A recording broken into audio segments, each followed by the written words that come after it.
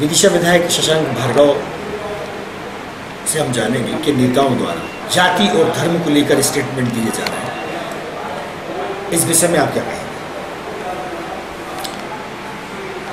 देखो, अब ये भारतीय जनता पार्टी का चाल चक्र चेहरा है कि पूरे देश में नफरत की राजनीति करके कहीं जातिवाद की बात करते हैं कहीं हिंदू मुस्लिम की बात करते हैं। लेकिन मैं अपने साथियों से निवेदन करना चाहता हूँ कि जो जन सेवा में लगा व्यक्ति होता है, उसकी ना कोई जात है, ना कोई धर्म है, क्योंकि उसके लिए सब समान है। उसका एक ही उद्देश्य है कि लोगों की सेवा करना और अपनी सेवा से लोगों को लाभ पहुंचाना। वही काम, वही मेरा उद्देश्य है, वही मैं काम कर रहा हूँ। विधायक हूँ, इसलिए जाति, धर्म कहीं आड़े नहीं आती। और ना मैं जात पात के चक्कर में कभी पढ़ा और ना पढ़ा श्याम सुंदर शर्मा जी के स्टेटमेंट को लेकर विरोध जताया है। भूषण बनिया शब्द का उपयोग किया आपके लिए। वहाँ वो कुछ मैंने कहा ना कि उनका काम ही है कि लोगों में अफवाह फैलाना भावनात्मक रूप से चलना। और किसी के बारे में भी कुछ भी कह सकते हैं। आपने अभी देखा कि माननीय मोदी जी भोपाल आए। उन्होंने शरद पवार के बारे में क्या नहीं कहा? उन्होंने अजीत पवार के बारे में कहा, दूसरे दिन उनकी पार्टी में शामिल हो गए तो वॉशिंग मशीन हो गई। धुल गए पूरे पाप और पूरे भ्रष्टाचार के आरोप खत्म हो गए। तो ये चाल चल चेहरा है, देश के प्रधानमंत्री, उन्हें भी ऐसी बात नहीं करना चाहिए। कभी कहते हैं गारंटी की बात।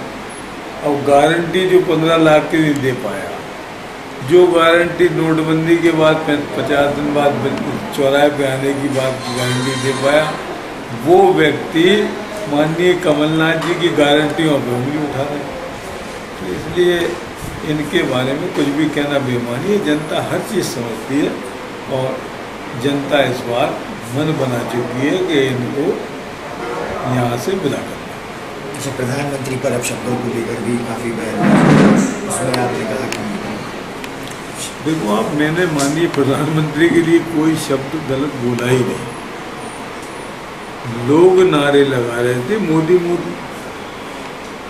उस समय मैं जो कहना चाहता था वो ये था कि मोदी मोदी जी के नाम से क्यों मुंहजोरी कर रहे हो भाई?